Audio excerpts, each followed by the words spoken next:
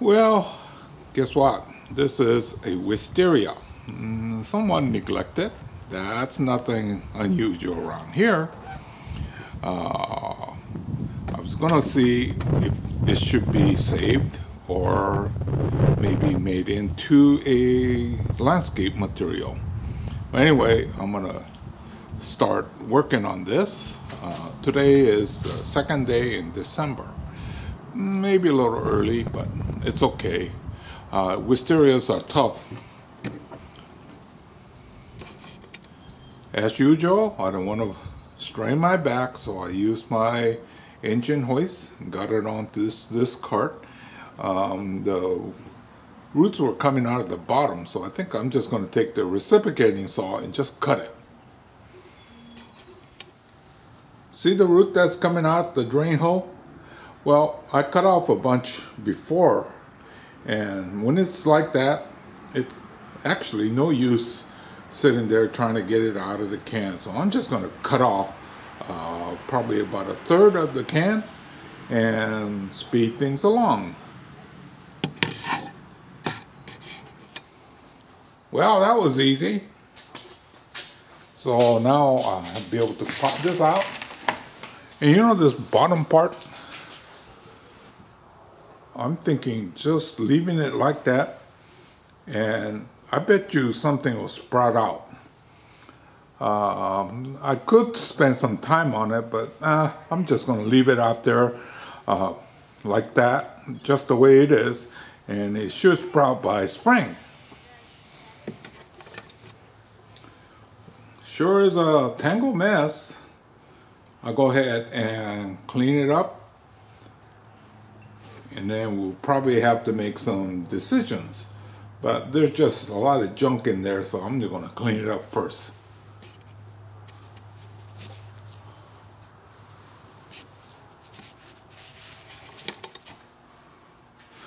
Well, take a look at this. Oh my gosh, this has a, a really nice root flare down there. Well, one good thing about neglected plants it's always a surprise what might be down in here. So I'm going to get started. And well, first of all, I'm going to clean up around the base. And then trim some of the, the top. And when I get done, I'll show it to you.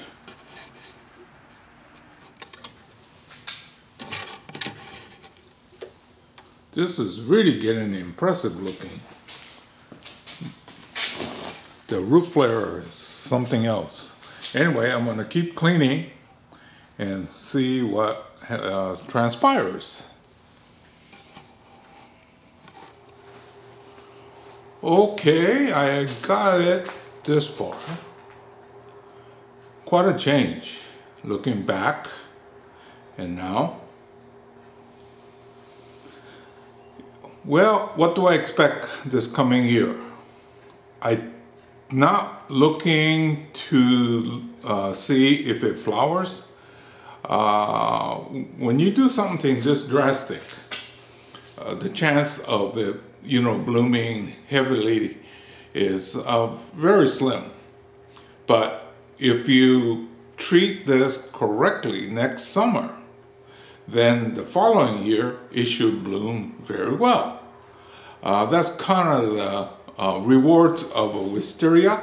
It depends on what you did the year before. So this year I'm doing this extreme. I cut off more than half of the root ball, tilted it on its side, and pruned the heck out of the top also. Uh, so that uh, if it does bloom, I'd be more happily surprised than uh, expecting it. So anyway, okay, taking a close look. I'm pretty sure this was growing wild, neglected for a few years, but I think I've been working on it on and off for, uh, well, a raw material will not look like this. You see the big, nice root flare and then the multiples that come up. Uh, and the branches more or less have good taper. this tall one here, it did lose a little bit up on the top part, but if I next year cut it to this lower branch right here, I'll get a nice taper and movement. So this is not finished. It was a good find, uh, the neglected materials, but I don't think it's raw. I'm pretty sure that somewhere I worked on it before.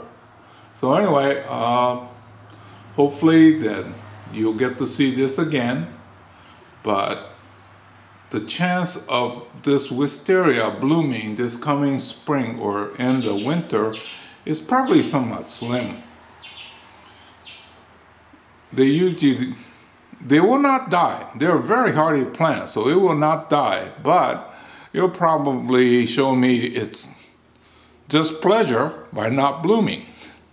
So I'm thinking in three, two to three years, uh, this should be a great bonsai specimen. So this is the wisteria. Look at that trunk. You know, sometimes it's hard to get the scale of these things. Well, the root flare, where it meets the ground, is between six and seven inches. So it's quite big.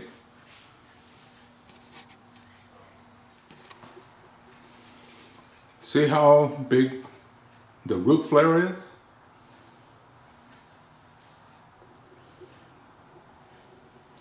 Well, all the sucker growth that was down here that I cut off, it helped to fatten this area. So I had a lot of sacrificed branches to make this uh, look fantastic right here. So all we need now is the bloom. Okay, as we take a look one more time as it spins around. This is Hiro saying goodbye. I'll see you again real soon.